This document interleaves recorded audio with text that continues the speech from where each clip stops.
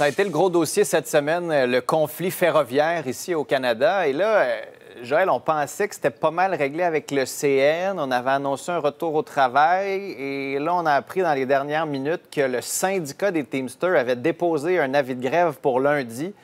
Donc, on repart. Mais là, ça se, ça se complexifie encore plus parce que, bon, dans la première étape, il y a un arbitre, un arbitre qui a été nommé. Puis un arbitre euh, nommé par le fédéral a quand même le pouvoir un peu d'obliger les travailleurs à revenir euh, parce que c'est un lockout qui a été décrété par les, euh, les compagnies, en fait. Mais là, c'est différent. Ce sont les, les syndicats qui décident de potentiellement faire la grève. Ils ont le droit de faire la grève. Donc, on peut pas, c'est très difficile d'obliger les travailleurs à, ou les empêcher de faire la grève, surtout que la Cour suprême a très, très bien balisé ça. Ils, pourraient être obligés seulement s'il y a des enjeux de sécurité ou de santé. Ça, ça va être difficile de démontrer. Donc là, ça se complexifie. Euh, donc, il faut faire des réserves. Hmm. Antoine, est-ce que tu vois une, sortie de crise? On s'attendait avec la sortie du ministre hier, le, recours à l'arbitrage, que ben là, on disait au moins on retourne, il va y avoir cet arbitrage-là, puis après ça, on verra. Là, finalement, ça va peut-être prendre une loi ben, spéciale?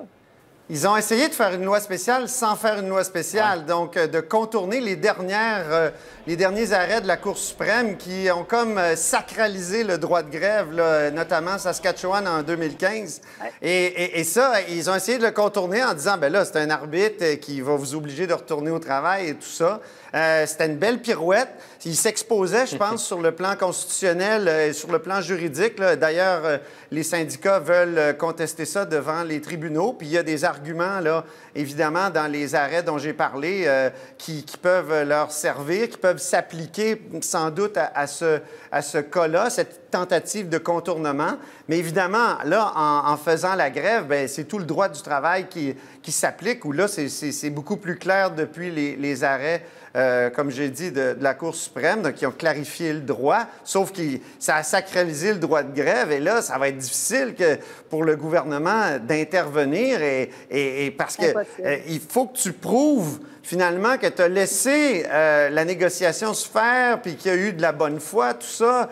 Euh, si au premier jour là, où il y a une grève euh, ou un lockout, que, que, le gouvernement décrète des conditions comme Stephen Harper l'avait fait dans le temps, mais ce qui est plus possible selon le droit, là, ça va être difficile pour le gouvernement Trudeau.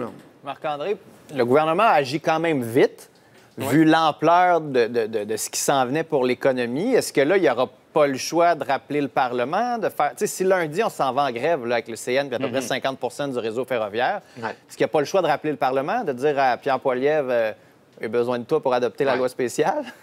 Oui, ça va commencer à être compliqué, là, parce que tout le monde, ce matin, on avait tous, tous le goût d'applaudir Stephen McKinnon, le nouveau ministre du Travail, dire il a bien agi, ça a pris 16 heures 29 minutes avant que le gouvernement on était tous surpris, là, nous qui surveillons la scène politique fédérale, du mon Dieu, le gouvernement Trudeau qui agit rapidement sur un dossier au lieu de traîner, laisser traîner les choses. Mais là, il a essayé un coup, ça n'a pas fonctionné les syndicats, le syndicat a réagi. Donc, on revient à la, case départ pour M. Trudeau, pour M. McKinnon. Et également, Philippe Vincent va avoir des conséquences au niveau politique. Là. Ben Comment l'NPD va réagir? Déjà qu'ils ne sont pas contraints d'arbitrage exécutoire. Si les libéraux commencent à évoquer une loi spéciale, oui, ça va prendre un partenaire pour danser probablement plus M. Poliev, même s'il fait tout pour pas s'en mêler. Donc, il va y avoir également des conséquences politiques sur le mariage entre les libéraux mm. et les néo-démocrates le gouvernement pourrait tomber là-dessus. Le gouvernement pourrait tomber là-dessus.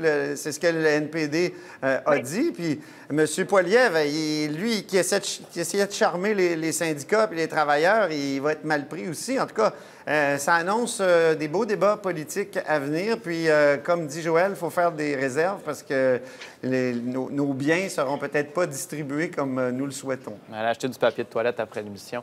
Restez là. On se parle de la FIC et des agences privées euh, au retour. Euh, Christian Dubé qui dit que c'est de la faute de la FIC. La FIC dit que c'est à cause du ministre. C'est la faute à qui finalement? On s'en reparle.